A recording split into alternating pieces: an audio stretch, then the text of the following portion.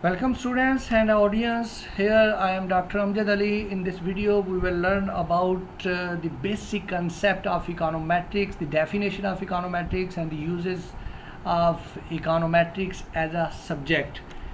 Dear student, the study of econometrics has become an essential part of every graduate course in economics and finance and it is not an exaggeration to say that it is also a very useful part of every economist as well as financial expert training.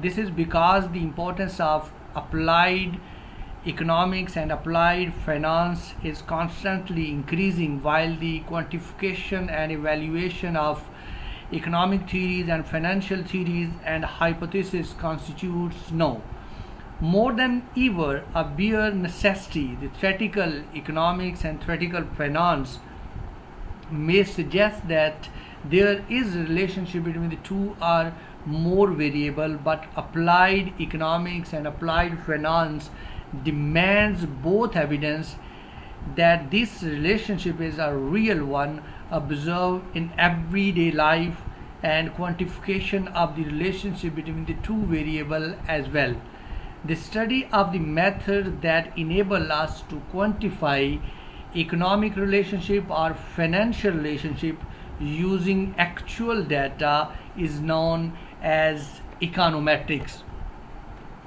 Here we have a, a definition of uh, econometric that literally econometrics mean measurement in economics. The first one, the concept of econometrics started for the measurement of the economic variable or the analysis of the economics variable. However, in a sense, econometric include all those statistical and mathematical techniques that are utilized in the analysis of economic data. The main target of using these statistical and mathematical tools in economic data is attempt to approve or disapprove certain economic propositions and models. So our main target uh, for the development of the economic uh, econometric is that we want to uh, approve or disapprove uh, the economic uh, propositions as well as economic models. Now we have an interesting branch of the econometric that is financial econometrics. The application of the statistical technique to problem in finance is called normally financial econometrics. Financial econometrics can be useful for testing theories in finance, determining asset prices or returns, testing hypotheses concerning the relationship between variable, examining the effect on financial market of changes in economic condition, forecasting future values of financial variables and for financial decision making making. So we can say that financial econometrics also work like somehow uh, economic econometrics. Types of econometrics. When we are talking about the types of econometric there are two main types of econometric. That first one is theoretical and the second one is applied econometrics and these uh, when we are talking about the theoretical econometrics, so simply this means that when we are developing new methodology or formulation in econometrics that is known as theoretical econometric. And when we are talking about the applied econometrics this means that we are using the existing methodology for testing uh, the available theories or model in finance and economics and theoretical and applied econometrics further divided in two categories that is the classical and Bayesian. When we are talking about the Bayesian, this is the probability, uh, this is purely related to the probability distribution. So our main concern is not about the uh, Bayesian uh, econometric, our main concern is classical. Either we are using a theoretical uh, econometrics, we uh, largely depend upon and classical if, if we are using applied then we also focusing on the classical side of uh, econometrics. Moreover uh, when we are uh, uh dealing with the applied side so our uh, uh, um, main important course line here that is the chris brooks, brooks financial econometrics or gujarati econometrics or somehow applied econometrics by Asteriou, uh, Dimitris, these are all concerned with applied side and the classical. So our uh, coming uh, uh, videos or coming discussion is based on largely a applied side and applied side on the classical side. Okay the uses of uh, financial econometric there are a number of uses of the financial econometric. The first one is the testing financial markets uh, are a weak form of informationally efficient.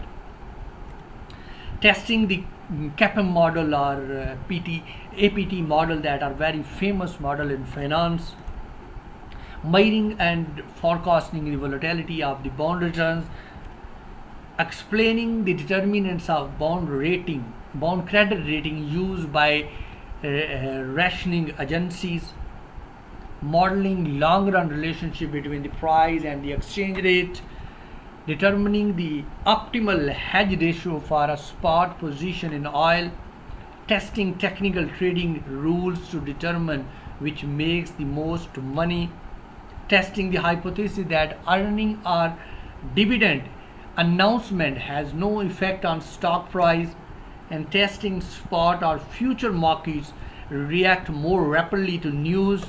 And the last but not least forecasting the correlation between the stock indices of two countries. Uh, largely we use uh, financial econometric for the testing of these type of relationship or these type of models and these type of theories. Financial econometric versus uh, economic econometrics. Financial data often differ from econo- uh, macroeconomic data in terms of their frequency, accuracy, seasonality, and other properties. In economics, a serious problem is often lack of data at hand for testing the theory or hypothesis of interest. This is often called a small samples problem. In the arena of economics are those of measurement error and often reversions these difficulties are simply that the data may be estimated or measured with errors and will often be subject to several vintages of subsequent reversions. In general, the measurement errors and reversion problems are far less serious in financial econometric or financial context. Financial data comes in many many shapes and forms but in general the prices and other entities are recorded are those at which trade actually took place or which were quoted on the screens of information providers. Financial data are observed at a much higher frequencies than macroeconomic data. Asset price or yields are often available at a daily, hourly or minute by minute frequency.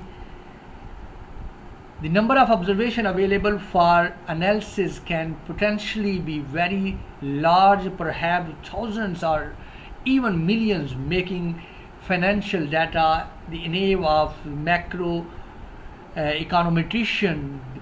The implication is that more powerful technique can often be applied to financial than economic data and that researcher may also have more confidence in the result. So this is the main difference uh, between the financial econometrics and economic econometric that uh, uh, there is no uh, uh, problem of the revisions or the measurement errors and the lack of data in financial econometric which is the main hurdle in our economic econometrics. So uh, why we are uh, making the uh, difference between uh, financial econometrics and um, uh, economic econometrics as I have mentioned that uh, the econometrics is basically invented for the measurement of economic variables or economic model but the but the but the passage of the time that econometrics is uh, used for the analysis of all management, social, and many other natural sciences uh, are using for the measurement and analysis purpose as econometric as a tool. So that's why we are putting here a slide for the financial econometric versus economic econometrics. Okay, problem with the financial econometrics is that the first one is the financial data data are often considered very noisy, which means that it is more difficult to separate underlying trends or patterns from the random and uninteresting features.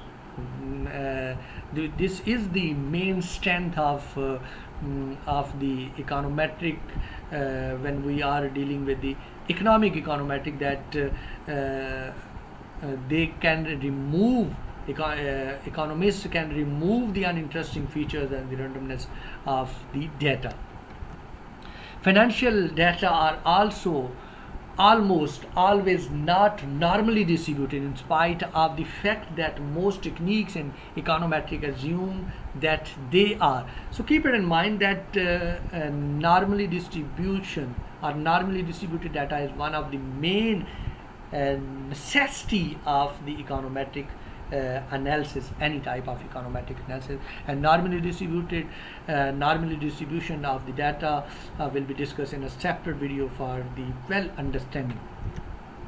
Okay, high frequency data often contain additional pattern which are the results of the way that the market works or the way that the price are recorded. One of the most rapidly evolving areas of finance is the modeling of market microstructure problem. Microstructure uh, may broadly be defined as the process whereby investor preferences and desires are translated into the financial market transactions it cannot exactly be measured with traditional econometrics so keep it in mind that with the passage of time our uh, financial experts are moving toward the uh, market microstructure are or we can say that the uh, that the micro level issues of the financial market. So these uh, micro level issues uh, cannot be covered by traditional econometrics in finance.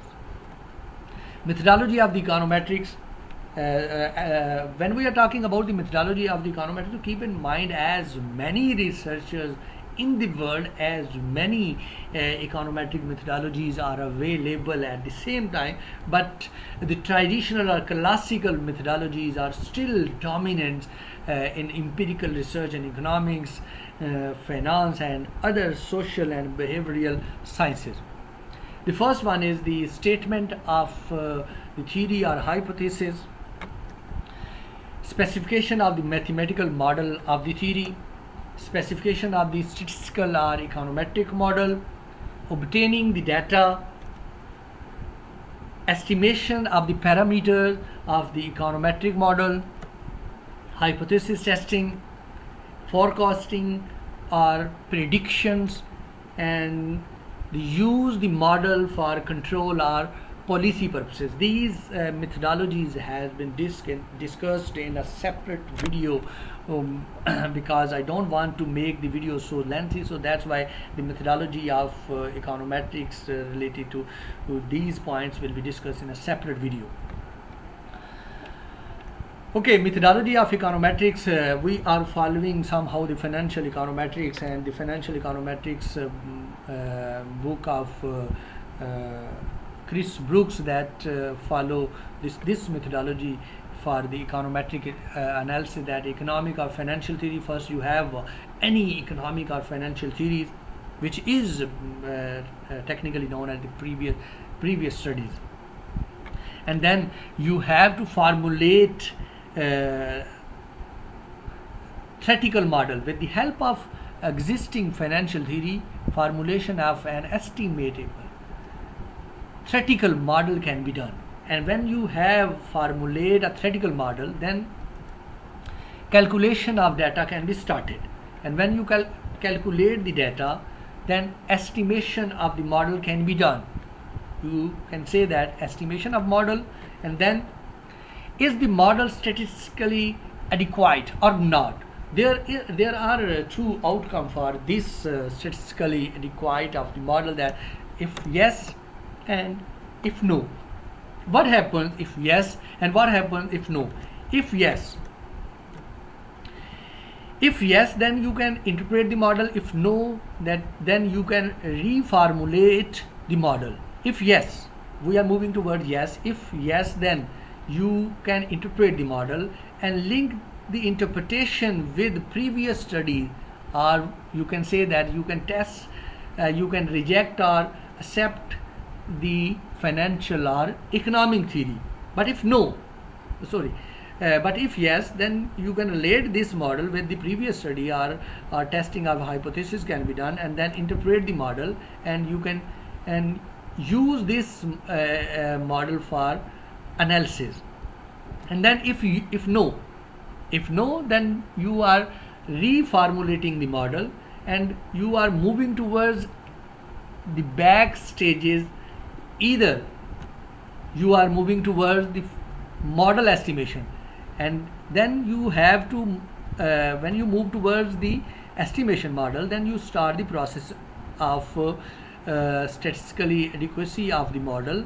And if no then you move again back and if yes then you move towards this.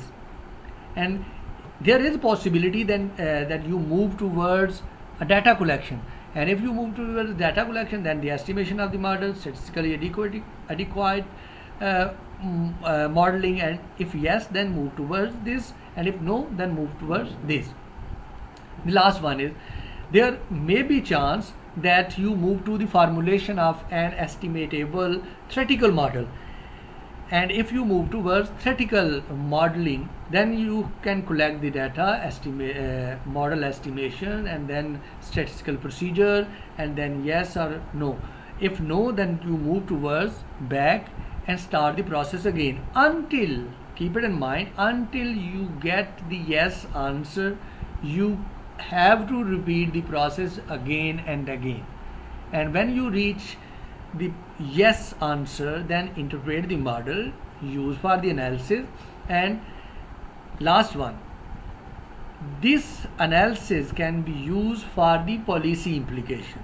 So this is the uh, methodology of econometrics which is given by the Brooks in introductory econometrics. The detail of uh, these uh, steps will be discussed in the methodology of the econometrics in a separate video.